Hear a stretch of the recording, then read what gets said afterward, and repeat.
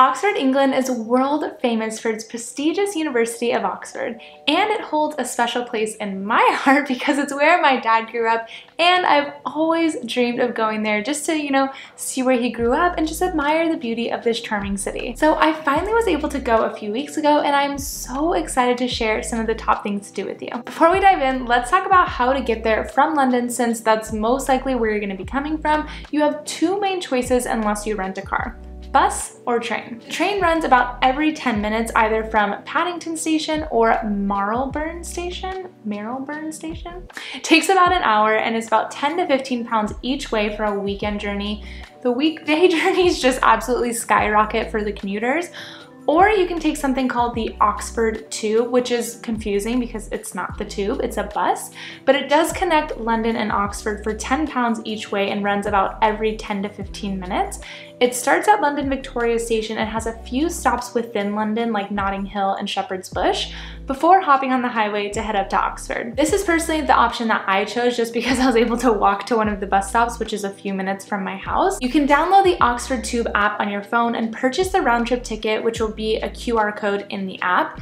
This next part is very, very important. Do not activate your ticket until you are literally boarding the bus, like stepping onto the bus, because from the moment you activate your ticket, you only have 15 minutes to use the ticket and then it expires. So I literally waited until right before I needed to scan it on board and then I did it because as soon as you click activate, a timer just starts counting down for 15 minutes. It's like really intimidating. So make sure that you know the bus is there, not just you think the bus is gonna come at a certain time. The bus is there, you are going on the bus, and then you click activate. The bus is super nice. It has leather seats, charging stations, Wi-Fi, a little tray table. So it's a very easy and comfortable ride. So I feel like since each transportation choice is pretty much the same time and price, just go with whatever is closest to your hotel or your house. Now let's dive into the top things to do in Oxford, England. First up is Christ Church, which is a constituent college of the University of Oxford in England, founded in 1546 by King Henry VIII. It is absolutely stunning. Like get used to that. Everything in Oxford is stunning. It's great to snap some photos from the outside, but unfortunately if you want to go in or even if you want to go to the courtyard area, you do have to pay or be a part of a tour, which is a very common theme in Oxford. You know, I understand because a lot of these buildings are being used by university students and staff, but it's a bummer because the insides and the courtyards would be amazing to see. Like here at the Christ Church is one of the many Harry Potter filming locations in Oxford that would be lovely to see for us Harry Potter fans. Next, you can go around back to go to the Christchurch Meadow, which is free to enter, thank God. it's a lovely little green space where you can get a nice view to see how vast Christchurch actually is, which you can't really tell how big it is just by looking at the front. So take a walk through the park. There are even some cows there if you just want to relax and soak in all the views. Next, you can walk up the road to the Oxford Castle and Prison, which honestly is one of the more underwhelming buildings in Oxford, in my opinion.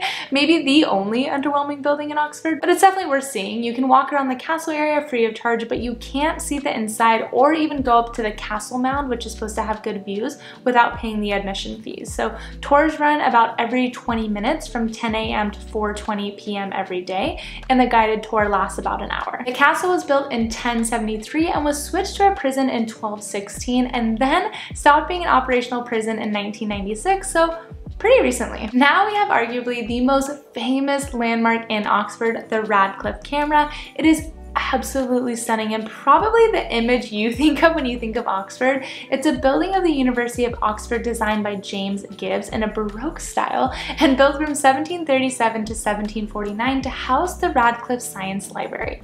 The camera was named for Dr. John Radcliffe, who was the physician to the monarchs William III and Mary of England and left a trust to Oxford University when he died in 1714 access to the Radcliffe camera is reserved for Oxford students and people with a Bodleian Libraries reader card, so most of us can only see it from the outside and snap some photos. Now, since I just mentioned it, we'll talk about the Bodleian Library, which is the main research library of the University of Oxford and is one of the oldest libraries in all of Europe. It derives its name from its founder, Sir Thomas Bodley. With over 13 million printed items, it is the second largest library in Britain after the British Library. The Divinity School inside was where Hogwarts Hospital Wing was filmed in the Harry Potter movies. Next up, we have the Sheldonian Theatre, which almost looks like a smaller version of the Radcliffe camera. It was built from 1664 to 1669 and is named after Gilbert Sheldon, a former Chancellor of the University of Oxford. It is the principal assembly room for the university and the regular meeting place of the congregation, which is the body which controls the university's affairs. Right across the alleyway from the theater is the iconic Bridge of Sighs. It's a skyway joining two parts of Hertford College over New College Lane. And honestly, just a beautiful photo op. Oxford is full of them. Next, we have Magdalen College, which is a constituent college of the University of Oxford. It was founded in 1458 by Bishop of Winchester, William of Waynflete. Again, you can go inside or even in the courtyards without paying or joining a tour, but it is a beautiful building that is along the river, so it's definitely worth going, you know, walking by, snapping some photos of. We happened to be in Oxford during matriculation, which I had never heard of, but basically it's a ceremony to officially welcome students to the University of Oxford. So if I'm being completely honest, it was a horrible day to go. Absolutely horrible. Do not recommend. Thousands and thousands of students all wearing the exact same outfits flooded the streets. There must be a tradition to come to the river in front of Magdalen College to go punting during or after matriculation because the line was insanely long to do this. So since I just mentioned it, I'll go into a little bit of detail about what punting is because it is a top activity to do in Oxford. It's basically these long, narrow boats and someone stands on the end of the boat with a long pole. Instead of rowing like you normally would do a boat, you use the pole to push off the ground, you know, inside the shallow river and move along that way. So if you're there during a time where it's not crowded and it's not matriculation with Oxford students all doing this, I would highly, highly recommend doing this. It looks like a lovely way to spend an hour or two. Next up, we have the University Church of St. Mary. Its exterior is a beautiful Gothic stone like all of the colleges, but this is accentuated by the tallest feature in the sky, the tower.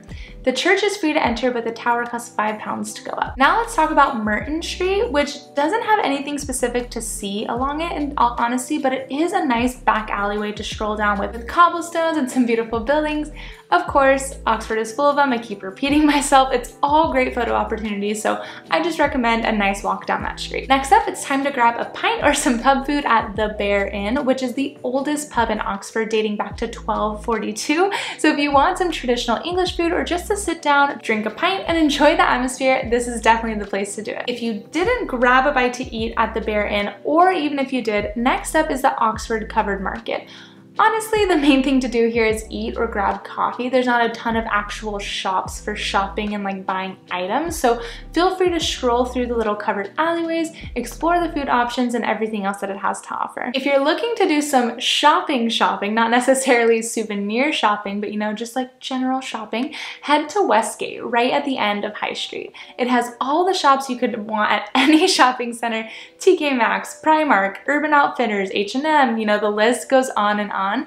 And they do have a street food court on the ground floor with a Mexican food option, Asian food, a burger place, a fried chicken shop. I tried the Mexican place because I've just been craving good Mexican food since leaving LA and unfortunately would not recommend trying it. It wasn't bad, but it tasted more like a Middle Eastern wrap than a Mexican burrito.